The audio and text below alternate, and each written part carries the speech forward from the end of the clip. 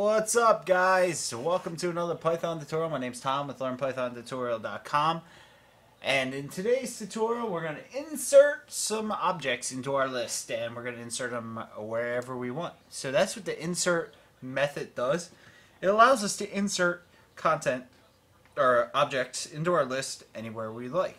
Unlike append and extend, which add the uh, content to the end of the list, we can put it anywhere we want. So let's take a look at that. Let's uh, create a list. A is equal to, uh, we'll do the same one, same one we've been doing, 0, 2, 3, 0 1, 2, 3. I'm going to take that last comma out and close out our list, call it. There we go, there's our list, 1, 2, 3. Um, so now we want to insert into it. We're going to insert um, a 0, alright, before the one. So let's go ahead and do that. A, and then insert. And then our first argument we put in is the index position where we want to insert it. So I'm going to say 0 because I want to put it before the 1. And then I'm going to do 0 again because I'm inserting a 0 into my list. And then I'll close out my um, list method, not with a 0, with the parentheses. And hit return, call A, boom. 0 goes into 1, 2, and 3. Now, what happens if I want to insert a 4 at the end? Well, we can use a dot append, like we've seen in a uh, couple tutorials ago. We could do that. Sure, that works, but hey, we're learning about insert. So let's uh, take a look at how we do that.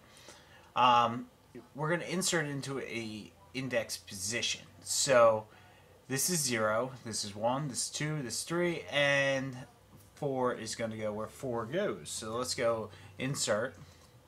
And our fourth index position, remember the first um, argument is the index position. Since I'm going to confuse you here by putting another 4 here, and that's going to be our number we're inserting. So we add 0 and then 4. Hit return. A. Boom. 0, 1, 2, 3, 4. Alright, so we inserted that at the end.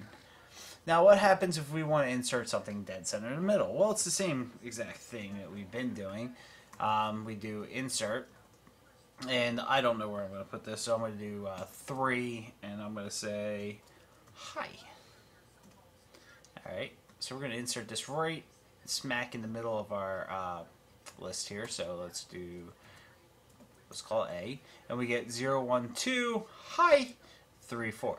So we just inserted it right into the middle here. Um, another thing I want to show you with insert is uh, it's kind of, it's like append, where if we do, um, let's do 3 again, and if we put something in the list, like uh, hi there, well, actually there's going to go before hi, but you'll get the idea hit return, call A, boom.